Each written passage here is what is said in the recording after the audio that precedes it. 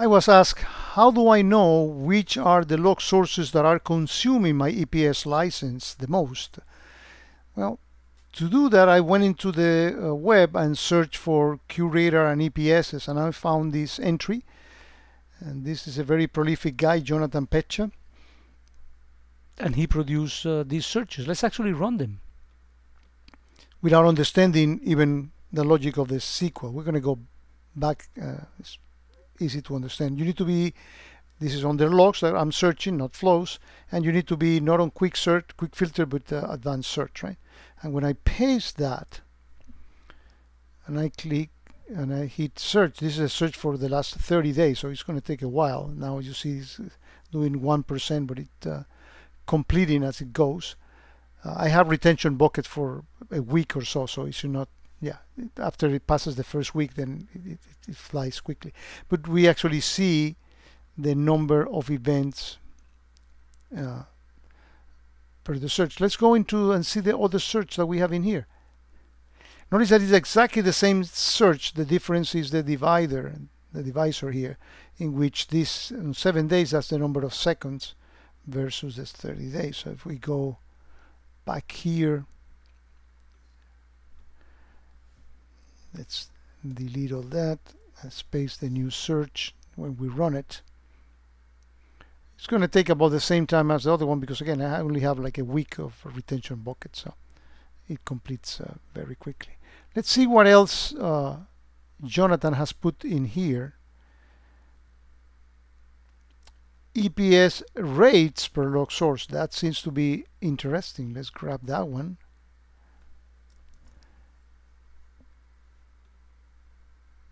Let's go here and paste this one. And that runs much faster, right? And we got the per log sources. Uh, this is a demo system, so I have a very limited amount of uh, component. Looks like I'm getting a lot of uh, Watson Advisor says infinity. that should be a pretty big uh, number. Now, when you are doing this uh, copy pasting thing, if you get an error, let me actually induce an error here. Let me actually remove the, or let me replace the single quotes by double quote. That's also a confusing part of uh, AQL. If I were to run this, it actually took the double quote as well.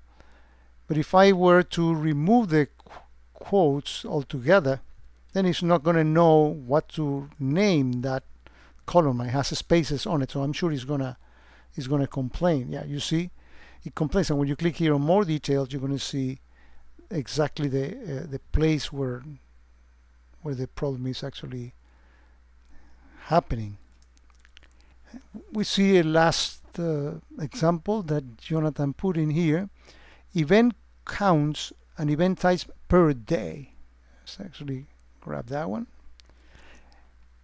and run it.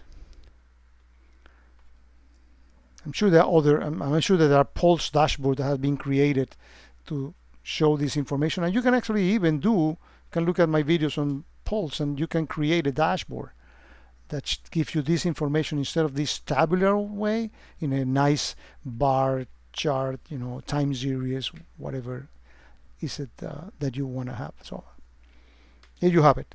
How do I get how my log sources are consuming my EPS licenses?